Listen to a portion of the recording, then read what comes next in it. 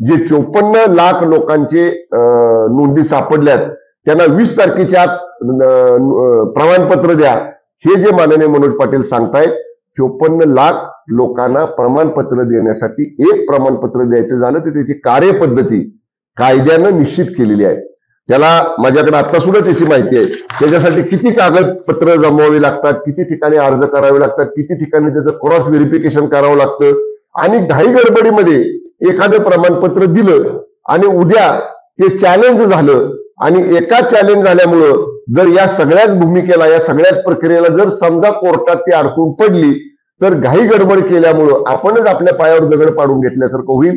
जर सरकारनं कमिटमेंट केलेली आहे ज्यांचे प्रमाण ज्यांच्या नोंदी सापडलेल्या आहेत त्यांना अर्ज केल्यानंतर त्यांची सगळी कागदपत्र तपासून जे त्या निकषामध्ये बसतायत त्यांना प्रमाणपत्र देण्याबाबतीत सरकार कुठेही चालढकल करणार नाही.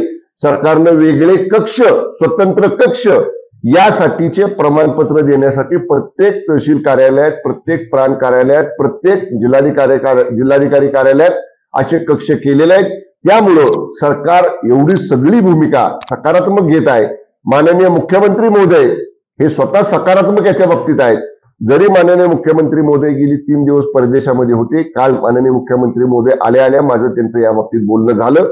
आपण काय काय कार्यवाही केलेली आहे आपण कशा पद्धतीने याच्यात पुढे जातो आहोत याच्या बाबतीत सरकारच्या वतीनं ही भूमिका आम्ही या ठिकाणी स्पष्ट करतोय. केव्हाही आम्ही कुणीही त्यांच्याशी मनोज पाटलांची चर्चा करायला तयार आहोत. त्यांनी अशा पद्धतीनं राज्याला उद्याच्या त्यांच्या आंदोलनामुळं कुणालाही सामान्य माणसाला तकलीफ होणार नाही त्रास होणार नाही. आणि कायदा सुव्यवस्था बिघडणार नाही यासाठी मनोज पाटलांनी उद्याचं आंदोलन रद्द करावं यासाठी त्यांना सरकारचा मंत्री म्हणून मी विनंती करत आहे. धन्यवाद. एक एक जण विचारा एक एक जण. सरकार वेळ काढूपणा करते तसंच उपोषण सोडवण्यासाठी आलेले सहा ते सात मंत्री आता गेले कुठं असा सवाल सुद्धा मनोज जरांनी मी तेच म्हणतोय त्यांना त्यांनी नकारात्मक भूमिका ठेवू नये. मी आता तुम्हाला सगळ्यांना सांगितलं या गोष्टी केलेल्या मी उघड सांगतो ह्या केल्यात ना. ज्या मनोज पाटील जरांगेंचं आंदोलन सुरू होण्यापूर्वी झाल्या नव्हत्या मग सहा सात मंत्री जे आले त्यांनी जो शब्द दिला त्यांनी जी चर्चा केली त्यांनी ज्या वाटाघाटी केल्या त्याप्रमाणे ही सगळी कार्यवाही झाली ना. कार्यवाही होताना चालू आहे ना दिसतील आपल्याला.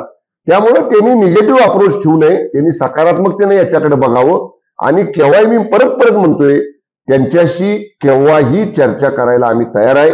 वेळ काढूपणा सरकार कुठेही करत नाही. हे बघा मी मगाशी म्हटलं गाई गडबडीमध्ये एखादा दाखला दिला एखादं प्रमाणपत्र दिलं ते उद्या कोर्टात चॅलेंज झालं आणि कोर्टानं जर माननीय न्यायालयाचं जर मत झालं की कुठेही काही तप- न तपास करता डोळे झाकून सरकार प्रमाणपत्र देते आणि प्रमाणपत्र देण्याच्या सगळ्याच प्रक्रियेला जर दुर्दैवानं कोर्टानं काही आडकाठी केली किंवा मनाई केली तर सगळ्या लोकांना त्याचा त्रास होणार एक गडबडीत केलेल्या दाखल्यामुळं बाकीच्या लोकांना त्याचे परिणाम दुष्परिणाम भोगायला लागू नये. म्हणून शेपर साईडला सगळ्या गोष्टी आपण कायद्याच्या चौकटीत बसून कुणालाही दिलेलं प्रमाणपत्र पक्क असलं पाहिजे.